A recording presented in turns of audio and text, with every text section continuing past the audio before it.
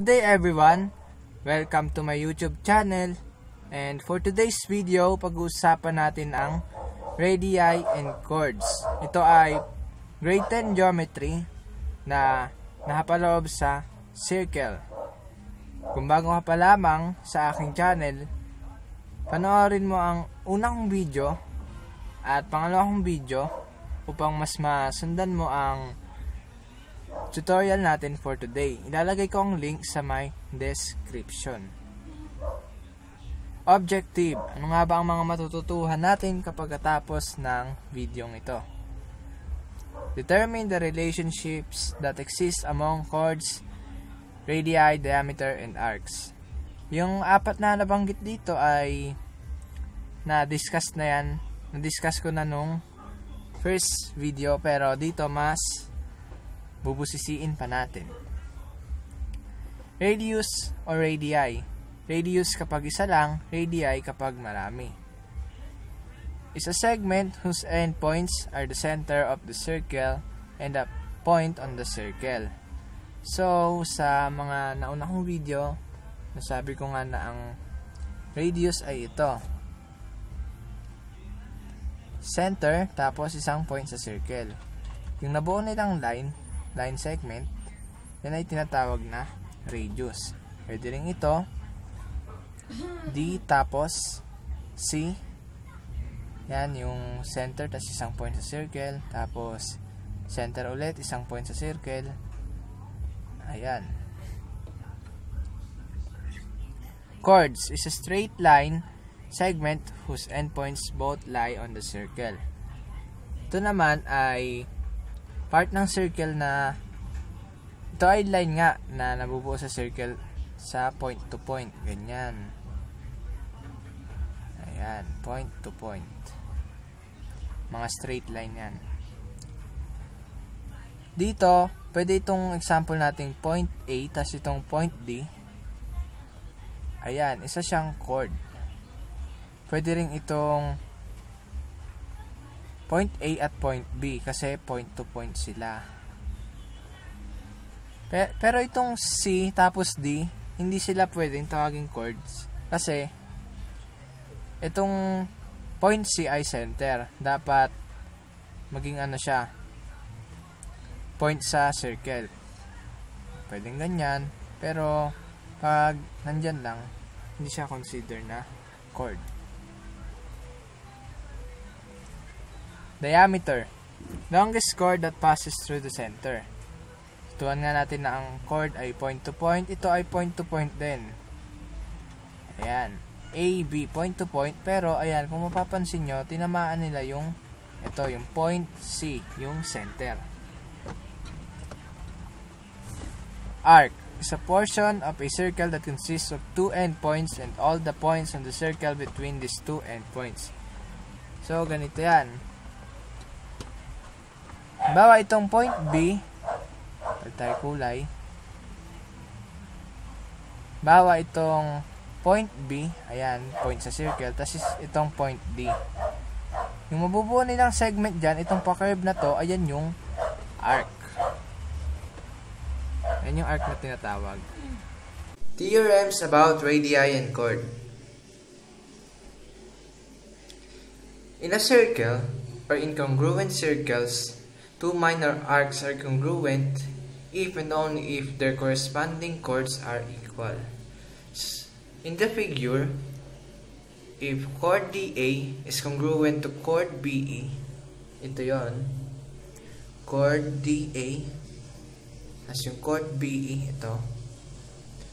Kung congruent daw sila, magiging congruent na rin ang measure of angle arc DB tas itong arc EA. Kasi kung papansin ninyo, halimbawa kung hindi sila congruent, no, ito, tapos pag ganyan, mas malaki ito.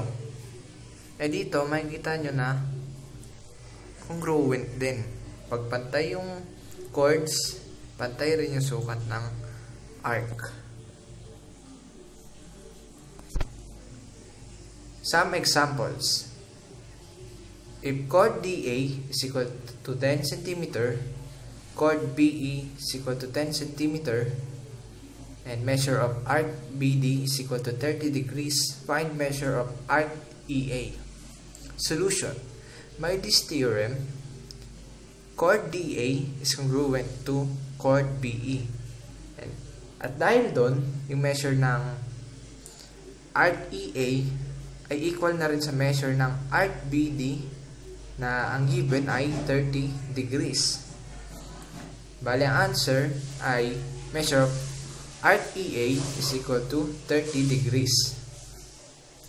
Number 2. If measure of arc BD is equal to 45 degrees, measure of arc EA is equal to 45 degrees, and chord DA is equal to 5 mm, find chord BE. Solution.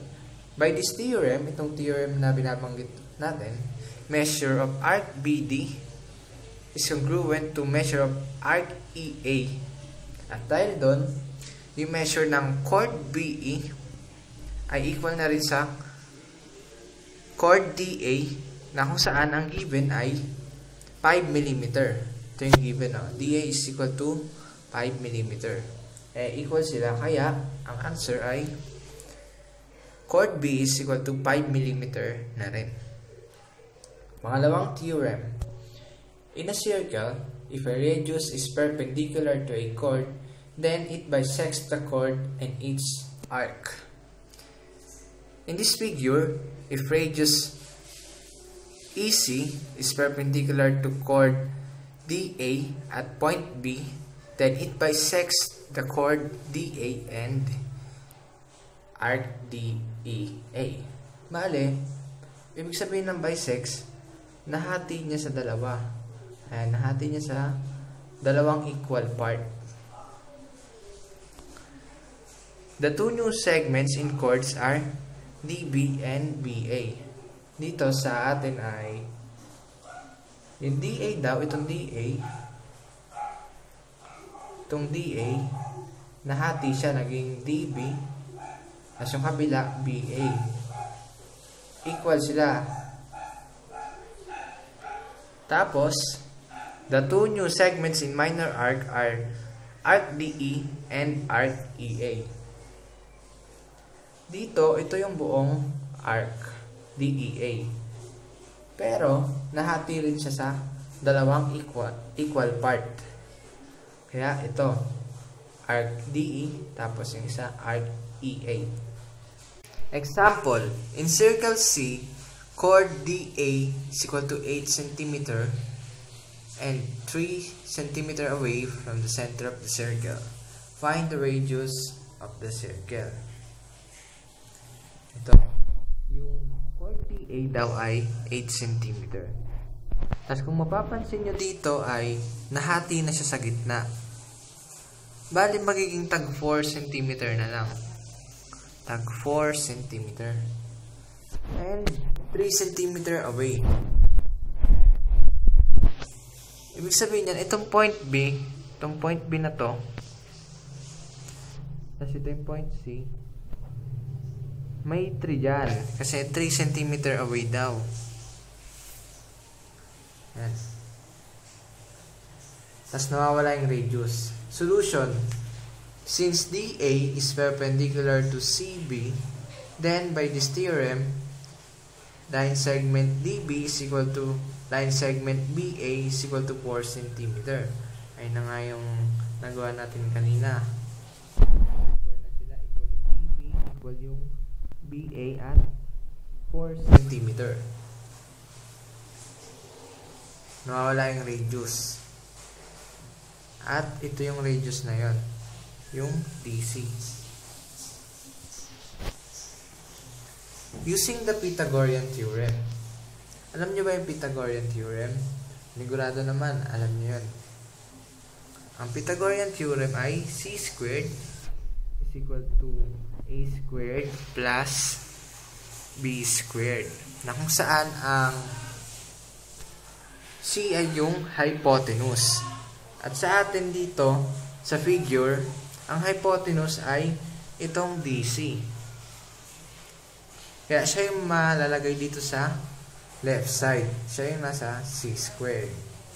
Bale, ang, magiging, ang mangyayari ay dc squared is equal to db squared plus bc squared. Tapos, isab natin, magiging dc squared is equal to 4.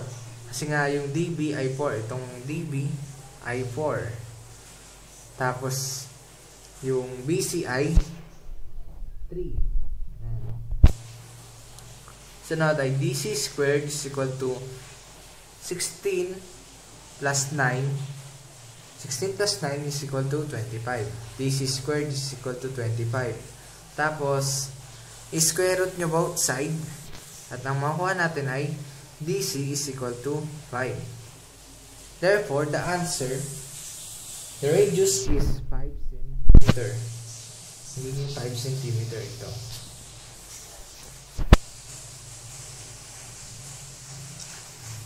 Pangalawang example, in circle C, chord DA is 3 cm away. Itong DA ay 3 cm away. Pwede 3 na naman dito. From the center of the circle. And the radius is 5 cm. 5 cm daw itong DC. Find the measure of the chord DA. Solution. Since line segment hindi. Chord DA is perpendicular to line segment CB. Then by this theorem, line segment DB, line segment DB, ito yung DB, and DB, tapos ito yung DA, is unknown. Ayan, maglagay tayo ng unknown dito. Ayan, unknown. Unknown. Using the Pythagorean theorem, gagamitin uli natin yung c squared is equal to a squared plus b squared. Tapos, ang DC, ang c natin ay ito. Itong 5. Ito yung pinakamahaba. Ito yung c squared. Kaya magiging dc squared is equal to db squared plus bc squared. Sunod, substitute 5 squared is equal to db squared plus 3 squared. Unknown nga yung db natin, di ba? Tapos, sunod, ilipat yung 3 squared sa kabila, magiging negative 3 squared. Kaya 5 squared minus 3 squared is equal to db squared. Tapos sunod ay db squared is equal to 25 minus 9. Kasi 25 minus 9 ay magiging magiging 16. Tapos, square root nyo both side. Ang matitira ay db is equal to 4. The answer, db is equal to 4 cm. Ayan, nakuha na natin yung db. Naging 4 cm daw. 4 cm. And BA is also 4 cm. Kasi nga, equal sila. Therefore, chord DA is equal to 8 cm. Ayan. Ipagpa-plus lang natin sila para makuha na natin yung measure ng kabuuan nitong D. At nasagot na natin ang tanong ang tanong na Find the measure of chord DA. At ayun ay 8 cm. Thank you for watching. Sana may natutuhan kayo. Please like, share, and subscribe for more math video tutorials. At huwag niyo na rin kalimutang i-click ang bell button para lagi kayong updated sa mga bagong upload ko. Hanggang dito na lang ulit. Salamat.